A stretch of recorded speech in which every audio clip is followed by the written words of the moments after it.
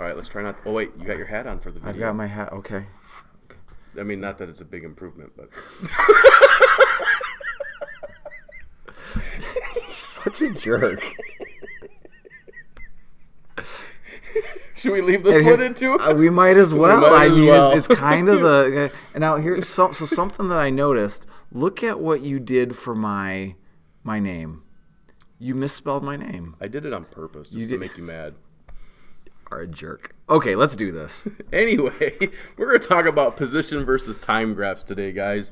And uh, we've kind of dealt with these a little bit before in the past. You may have seen these in math class as far as uh, using the coordinate plane to graph something. So that should be somewhat familiar to us. So here we go. It's it's not it's not cooperating. It's not cooperating. there we there go. we go. Now it's cooperating. All right, so today we are going to use position versus time graphs to describe how an object moves. Mm-hmm. So that you can describe motion with graphs. You can tell Okay. if it's going faster, slower, or if it's staying still. Uh-huh. Okay, and then um, how do we know we you got it? Is when you can explain uh, an object is moving when given its position versus time graph, or the other way around. I can give you the graph, and then you have to tell me what's going on. So so this is just really one more way that we can show how an object is moving. Yes. All right, Besides so- just a regular motion map. Right. We've done the motion map already. Now we're gonna take that kind of that same information, put it into a, a, a graph. Sounds good. All right, so here's our first example. This is somewhat from your investigate that we were working on the Mm-hmm. previous day. All right, so you should be familiar with how to do set these up. All right. Hey, you know what, Mr. Conrad? Before No. before we dive into that, Okay. so I'm just I'm trying to think of well, if I was looking at just the data table, so just the data table, what are we? What do we have going on here with our? If we just look at the data Yeah. table, well, it looks, it looks like we're starting at 0 So zero is our origin. Uh-huh. Okay. Our origin isn't where we start at. Right, Our right. origin is what we're measuring from zero. So that's kind of our frame Ze- of reference. frame of that's where we reference. go. So Okay. zero zero. So we're starting at the origin on this one. I have the world's greatest penmanship. By You know what? That's not bad. That's not great either. Uh, so, uh, but then if we take a look at one second, we know we are two meters away Uh-huh. from our origin here. We are then four meters at two seconds, six meters away at three seconds, and then at five seconds we are ten meters away. Okay, so I'm looking at that, and it kind of it looks seems like every, as every second goes by, the position is changing the same amount. Yeah, each time it's going up two, right? Plus two, yeah. Okay, so so we could call that like uh, constant. that would be our constant. Yep. There we go. So I think yeah, so it'll be interesting to see what this looks like on the graph because if we were doing this on a motion map, it would be evenly spaced. So if we did this on our motion map, we would have our dot here, and Mm-hmm. we'd have an arrow. This is a whole beautiful arrows that we're drawing here. You're too you're too tough on yourself. This I is, know, This I'll- is pretty good. I'll get over it eventually.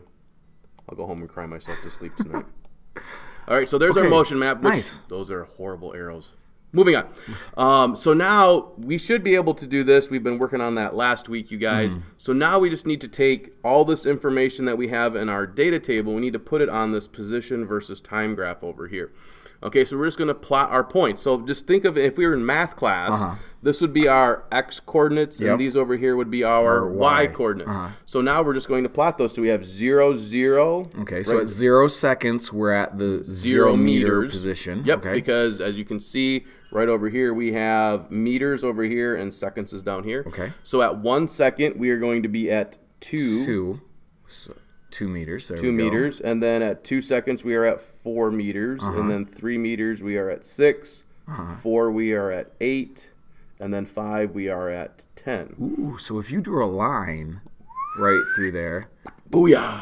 that looks that looks pretty pretty straight. Constant. Constant. Oh, so there's a pattern there. There's a pattern there. So if you have a nice straight line like that and Uh-huh. it's just continuing on, that's going to be a constant.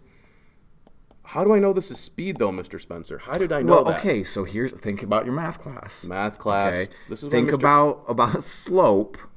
Okay. So your slope of the line, that's like rise. So rise is like up and down.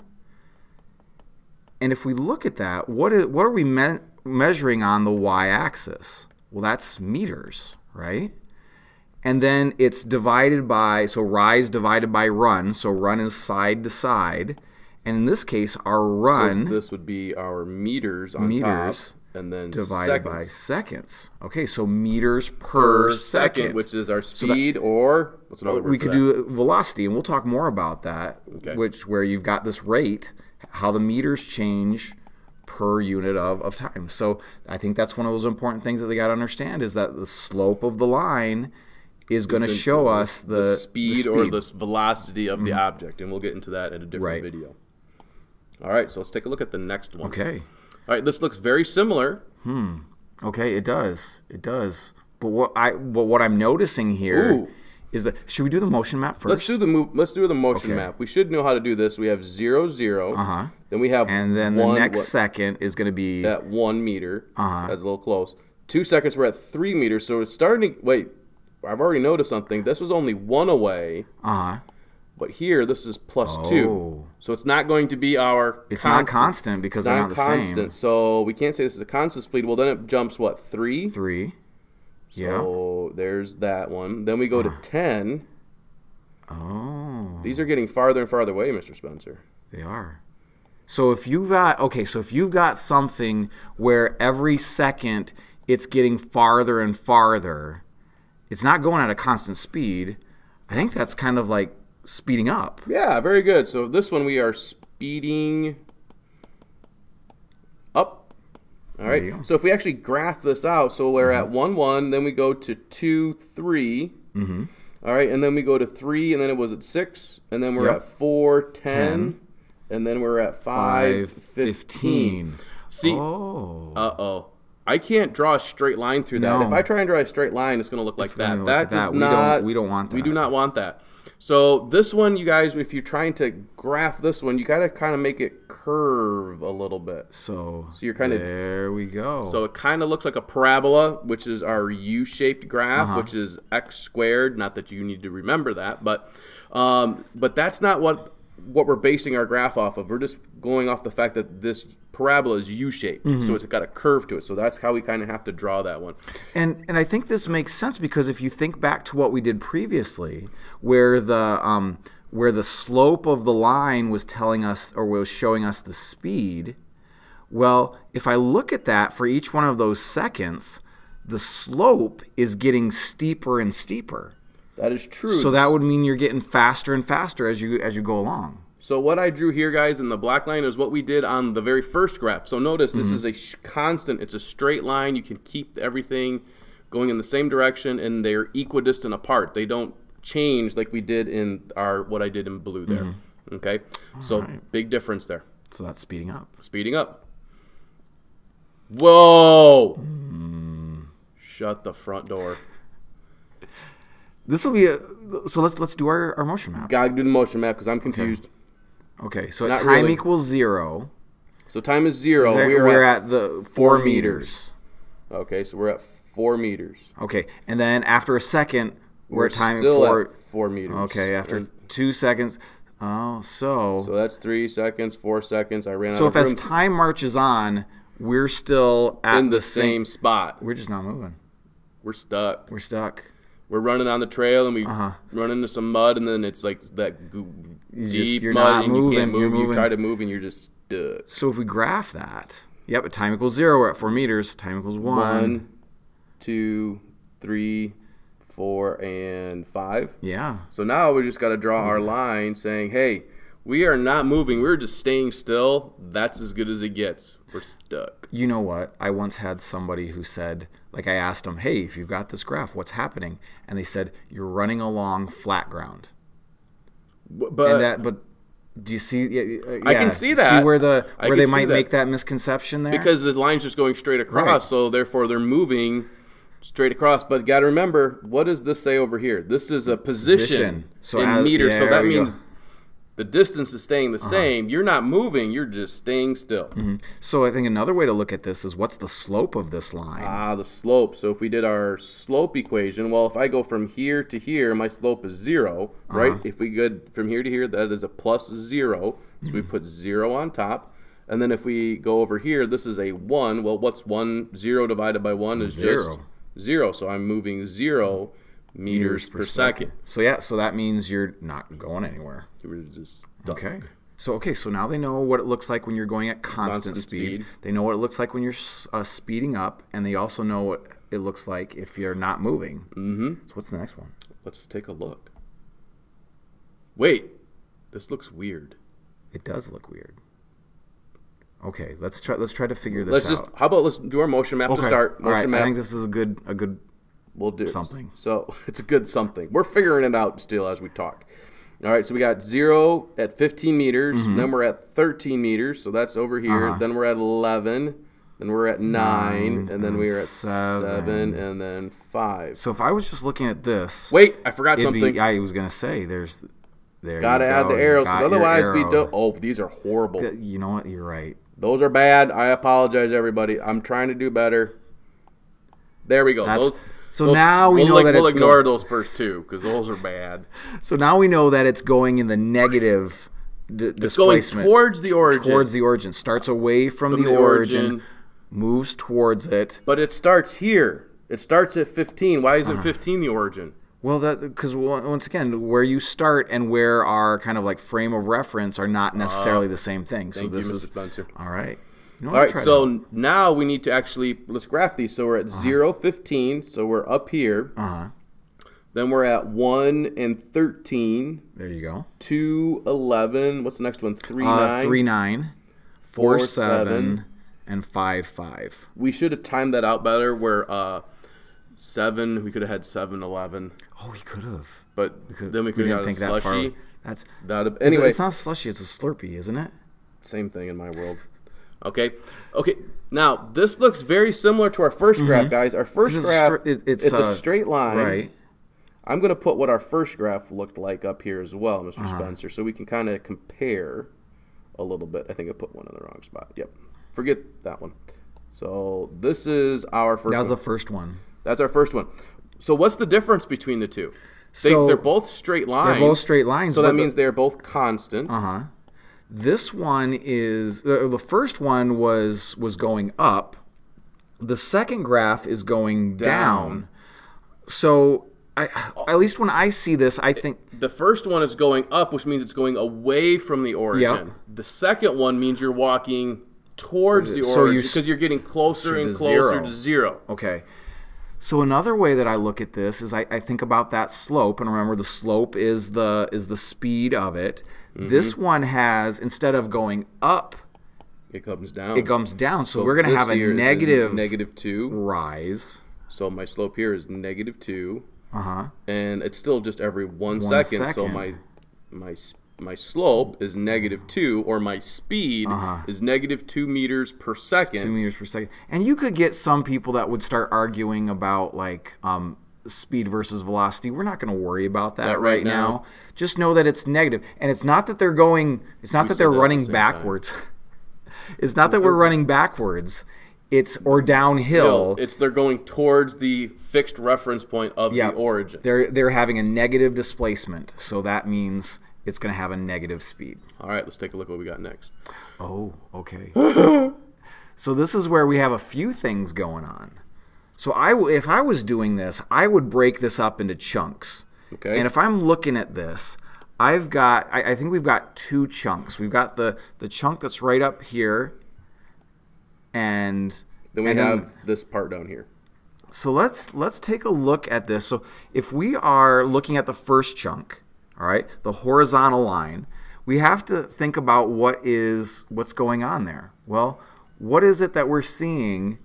Well, if we remember what we were doing on our previous set, if something was just a horizontal line, that didn't mean it was running flat. It Mm-hmm. just meant it was staying still. It wasn't really moving anywhere. So this means this is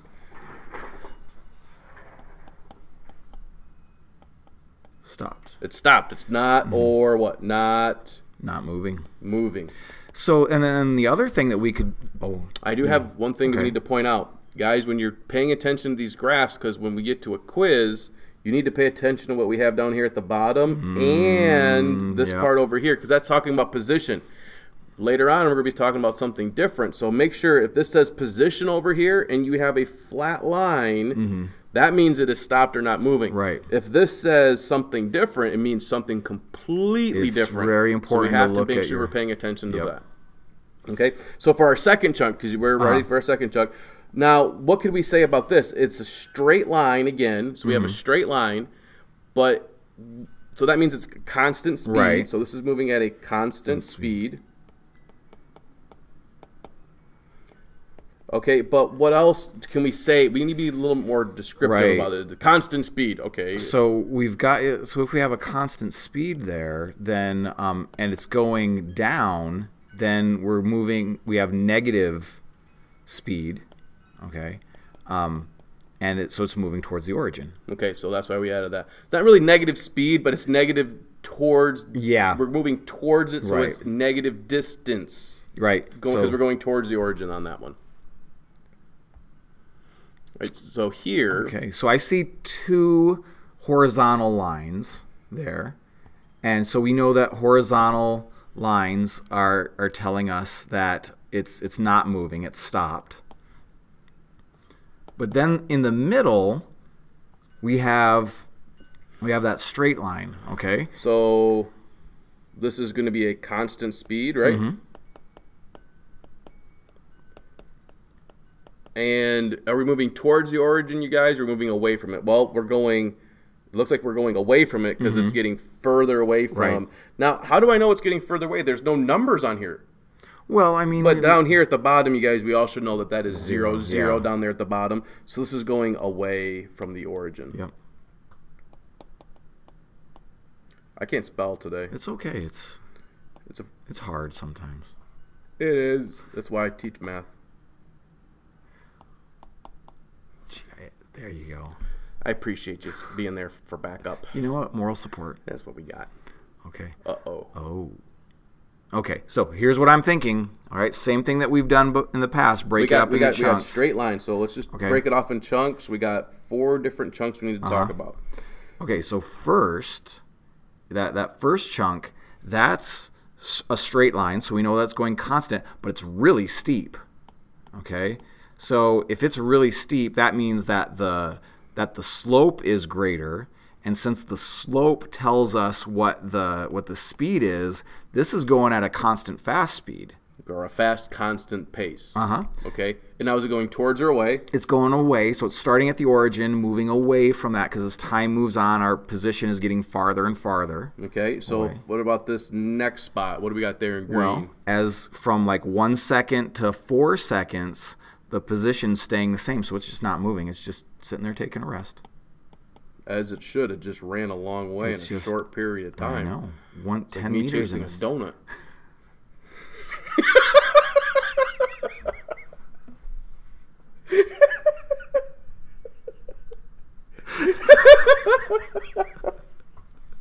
Moving on. this last one. So for this last one, We're gonna go red. we've got okay. So we have we have a straight line. So once again, it's going constant, and it's negative or it's pointed down. So that means it's moving in the negative direction. So pretty much they stopped chasing the donut. They got it, Yeah, we did. and now we're moving back the towards car. back towards the car. Yep, I had to run away from the, the place because I was gonna get too many of them. And then you get like a cramp and stop again somewhere. No, I got in the car got- and I had and to you rest.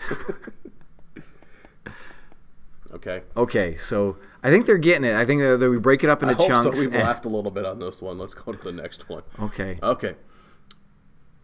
You know what? I think they get this. I think they. Hopefully they get this. Hopefully you guys will know that this up here is going to be at a complete stop. Yeah. Over here is also at a Stop. at a stop sign. Mm-hmm. And then our part here that is going to be a constant. Yeah. Okay, speed, but and then now, could I say it's moving at a fast constant speed? I think so. Because here we're at three. I tried to do my best to do three and four, but it didn't quite work out. But that is a short time to cover. Looks like uh, four meters. Yeah, so it's- so that would be we consider that fast. it's a pretty steep slope, so I call So again, fast. if if you're dealing with slopes, you guys, and you see a slow like a low line like this, that means you're going to be going at a slower Mm-hmm. Right. pace. If you see something where it's like this, obviously that means we're going at a, lot fast faster. pace. Yep. I think we good. I think I think so. All right, guys, there you go. All right. Let us know if you have any questions.